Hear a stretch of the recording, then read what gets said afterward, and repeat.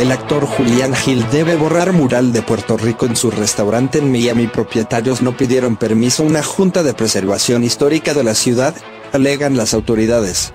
Los propietarios del restaurante La Placita, entre ellos el actor Julián Gil, deberán borrar un inmenso mural en honor a Puerto Rico que se ha elaborado en el local, ubicado en el distrito Mimo de Miami, informan hoy medios locales.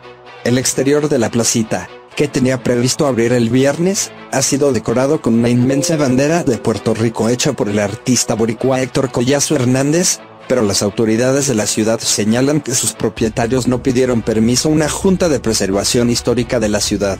La bandera, para la que se empezó a trabajar desde la mañana del jueves con ayuda de varios voluntarios, motivó las quejas de un grupo de propietarios de casas y negocios en la zona que realizan recomendaciones a la Junta para preservar el carácter del área. Ahora es un problema de cumplimiento de código, dijo al diario Miami Herald Vicky Torrenazo, una planificadora de preservación histórica para la ciudad. Según declaró a este medio el director ejecutivo del restaurante, Joey Cancel, el negocio no incumple las normas del distrito dado que es un edificio construido en 2009 y recibieron además un permiso especial para hacer el mural, obra que costó unos 25 mil dólares y forma parte del proyecto de Hernández, 78 pueblos y una bandera. Cancel agregó que nunca fueron informados de que la obra podría quebrar alguna norma local pero funcionarios de la ciudad señalan que debieron haber presentado la idea para su aprobación al Departamento de Planificación de la ciudad y a la Junta del Distrito Mimo.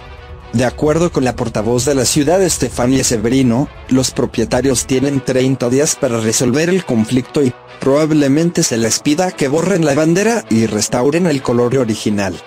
Por su parte, el actor Julián Gil se manifestó ese día en su cuenta de Instagram que tiene un permiso de la ciudad floridana que lo autorizó a realizar la gigantesca obra en conjunto con el artista puertorriqueño Héctor Collazo, creador del proyecto 78 pueblos y una bandera. No obstante, hay un sector que no lo aprueba.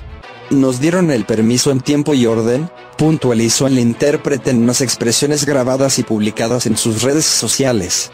De igual forma apuntó que si tuviera que borrarla, la volverá a pintar en otro punto del estado de Florida.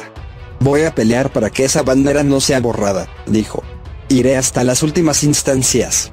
Si hay que borrarla, la volveré a pintar en otro lugar de Florida, enfatizó apoyado en que cuenta con el permiso para que el mural valorado en 25 mil dólares permanezca. La Junta de Preservación Histórica y Ambiental que rige las obras en Mimo Vizcaine, representada por Elisa Cepeda, aduce que el mural viola los códigos establecidos por ese cuerpo rector, lo que de inmediato desató una ola de reacciones entre quienes están a favor y en contra del proyecto llamado Plantando Bandera. El CEO de la placita, Joey Cancel, defendió ante la prensa en Miami que al momento de solicitar el permiso no se les comunicó sobre una posible violación al carácter histórico de la zona. Hay, inclusive, cerca de 30.000 firmas, de una meta de 35.000 solicitadas a través de la plataforma change.org, que favorecen la permanencia de la bandera en la fachada del restaurante, que celebrará la gastronomía boricua desde la perspectiva de la diáspora en Miami.